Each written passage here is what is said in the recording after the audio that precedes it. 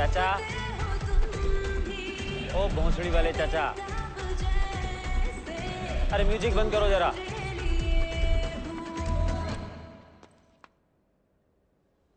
चाचा चाचा, हो गया बस। थोड़ा रेस्ट कर लीजिए, वरना रेस्ट इन पीस हो जाएँगे।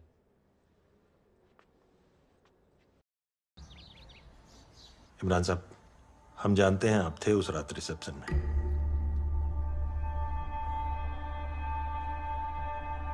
हम देंगे गवाही।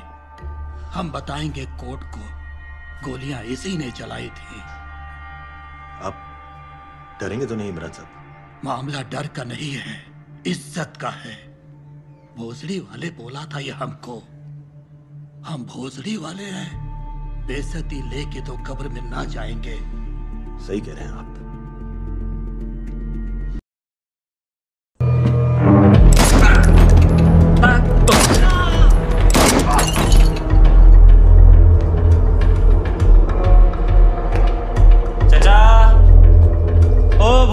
चचा।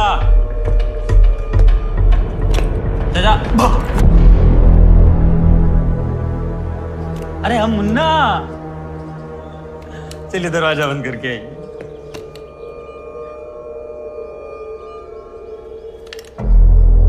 प्लीज़। घर के बाकी लोग काय देखें? हमारे बीच में क्या होने वाला है?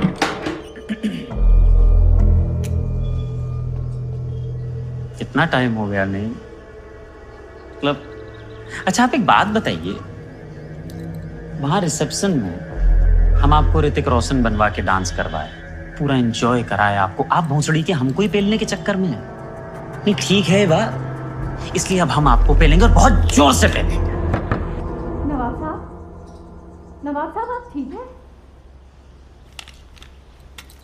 क्या नाम है? दरवाज़ा खोलिए ना। रुखसाना आप जाइए। हम ठीक हैं। चलिए फिर। कोई आखिरी ख्वाहिश हो तो बोलिए आपको पेलने तो वाले ही हैं पूरी कर देंगे। कुछ कहना है। अच्छा फिर साथ।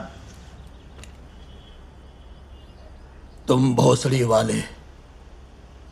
तुम्हारे वालिद भोसड़ी वाले। एक ये कौन हुए? तुम्हारे पापा। अच्छा शुरू से शुरू से। तुम भोसड़ी वाले, तुम्हारे पापा भोसड़ी वाले, तुम्हारे दादा भोसड़ी वाले, तुम्हारे नाना भोसड़ी वाले।